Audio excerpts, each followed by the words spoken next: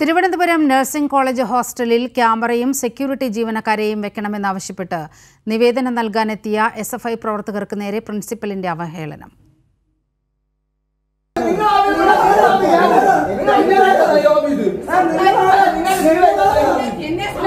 ഞാൻ ബാക്കി വ്യക്തിയെ ഏതോ ഇവിടെ വന്ന്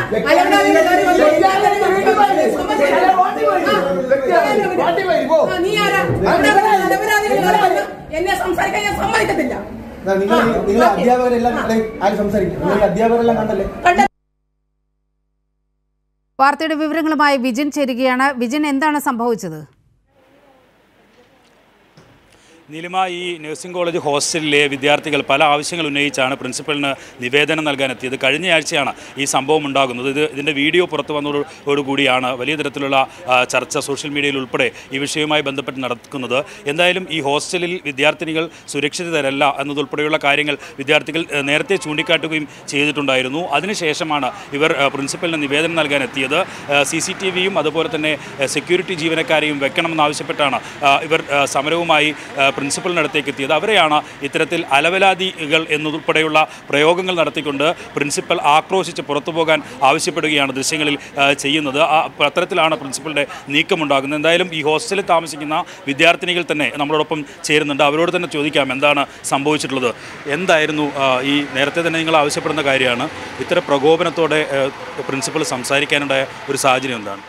അതെ നമ്മൾ കുറേ നാളുകളായിട്ട് ഹോസ്റ്റലിലെ വിഷയങ്ങളാണെങ്കിലും കോളേജിലെ വിഷയങ്ങളാണെങ്കിലും അഡ്രസ്സ് ചെയ്ത് സംസാരിക്കുന്നതാണ് പ്രിൻസിപ്പളിന്റെ ഭാഗത്ത് പ്രിൻസിപ്പളിനോട് നമ്മൾ കോളേജ് യൂണിയന്റെ ഭാഗത്ത് നിന്ന് കഴിഞ്ഞ ആഴ്ചയാണ് ഈ വിഷയം ഉണ്ടായത്. ഹോസ്റ്റലിലെ ഫ്രണ്ടിൽ അപമര്യാദയായിട്ട് ഒരാൾ പെൺകുട്ടിയോട് പെരുമാറി. അപ്പോൾ നമ്മൾ പോലീസ് സ്റ്റേഷനിൽ ചെന്നപ്പോഴാണെങ്കിലും ഹോസ്റ്റലിന്റെ ഫ്രണ്ടിൽ ഒരു ക്യാമറ ഇല്ല എന്നാണ് അവർ ചോദിച്ചത്. അപ്പോൾ പല സിറ്റുവേഷനിലും അതായത് ഒരു ആറ് മാസം മുമ്പ് കോളേജ് ഹോസ്റ്റലിൽ സൈഡിൽ ഒരു സ്പേസ് വഴി ഒരു കള്ളനകത്ത് കയറി അപ്പം സൈക്കാട്രിക് പേഷ്യന്റ് ആണെന്ന് പറഞ്ഞ് വെറു- വെറുതെ വിടുകയുണ്ടായത്.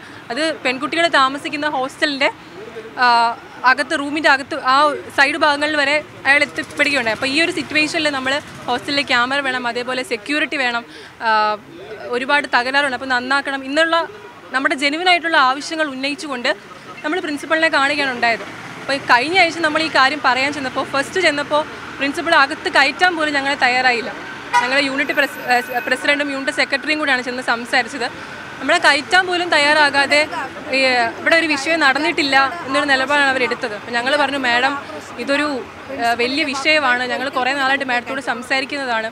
പക്ഷെ അവർ ഒരു പെൺകുട്ടിക്കുണ്ടായ ഒരു ഇഷ്യൂ ആണെന്നുള്ള ഒരു പരിഗണന പോലും നൽകാതെയാണ് ആ വിഷയത്തെ സംസാരിച്ചത്. എനിക്ക് വിഷയം അറിഞ്ഞുകൂടാ. അപ്പം അങ്ങനെ നമ്മൾ സംസാരിച്ചപ്പോൾ പറഞ്ഞു വന്നപ്പോൾ ക്യാമറയും സെക്യൂരിറ്റി എന്ന് കോളേജിൽ വരും എന്നൊരു സമയം നമ്മളോട് പറഞ്ഞത് നമ്മൾ പൊക്കിയോളാം മാഡം. ആ ഏകദേശം ആ ഒരു സപ്പോർട്ട് ഞങ്ങൾക്ക് മതി എന്നുള്ള രീതിയിലാണ് ഞങ്ങൾ സംസാരിച്ചത്. പക്ഷേ അവർ നിങ്ങളോട് പറയേണ്ട ആവശ്യമില്ല. അതായത് വിദ്യാർത്ഥികളുടെ പ്രശ്നങ്ങളിൽ എടുക്കുന്ന നടപടികൾ ഒരു വിദ്യാർത്ഥികളോട് പറയേണ്ട ആവശ്യമില്ല. വിദ്യാർത്ഥി സംഘടനയോട് പറയേണ്ട ആവശ്യമില്ല എന്ന രീതിയിൽ സംസാരിച്ചു. വിജയൻ തുടരുക. അതേപോലെ- വിദ്യാർത്ഥികൾക്ക് നേരെ ആക്രോശിക്കുന്ന തിരുവനന്തപുരം നഴ്സിംഗ് കോളേജ് പ്രിൻസിപ്പലിന്റെ ആ, ആ വാക്കുകൾ നമുക്ക് കേൾക്കാം ആവശ്യം അംഗീകരിച്ചില്ലെങ്കിൽ എങ്ങനെ കേൾക്കാൻ വേണ്ടി വരും? വിദ്യാർത്ഥികളുടെ ആവശ്യം എന്താ?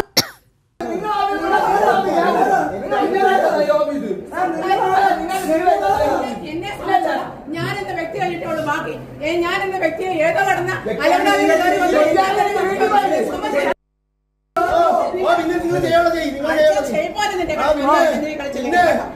പിന്നെ നിങ്ങൾ നിങ്ങൾ നിന്റെ സർക്കാർ സാഹചര്യം എന്ന് പറഞ്ഞ് നീ ഒക്കെ കേൾക്കണ്ട വായിക്കുന്ന എല്ലാം കേൾക്കാൻ ഞാൻ അർഹതപ്പെട്ടിട്ടില്ല? വിദ്യാർത്ഥികളുടെ ആവശ്യം. നിങ്ങൾ കേൾക്കേണ്ടി വരും. നിങ്ങൾ ആരുള്ളതാ? നിങ്ങൾ ആരുള്ളതാ? നിങ്ങളോട് ഇരിക്കൂലേ? നീ ഏത് വിദ്യാർത്ഥി? ഓ, ഓ, പിന്നെ നിങ്ങൾ ചെയ്യ്. പിന്നെ? നിന്റെ സർക്കാർ സാഹചര്യം എന്ന് പറഞ്ഞ് നീ ഒക്കെ കേൾക്കണ്ട വായിക്കുന്ന എല്ലാം കേൾക്കാൻ ഞാൻ വേണ്ടി ക്യാമറയും സെക്യൂരിറ്റി ജീവനക്കാരെയും പെൺകുട്ടികളുടെ ഹോസ്റ്റലിൽ വെക്കണമെന്ന് ആവശ്യപ്പെട്ട വിദ്യാർത്ഥികൾക്ക് നേരെ അല അലറിപ്പാഞ്ഞടുത്ത് ആണ് ഈ പ്രിൻസിപ്പൽ സംസാരിക്കുന്നത്. സമനില തെറ്റിയ രീതിയിലായിരുന്നു ഇവരുടെ ഇടപെടൽ എന്ന ദൃശ്യങ്ങളിൽ നിന്ന് വളരെ വ്യക്തമാണ് ഈ പ്രിൻസിപ്പലിനെതിരെ പരാതി നൽകിയിട്ടുണ്ടോ?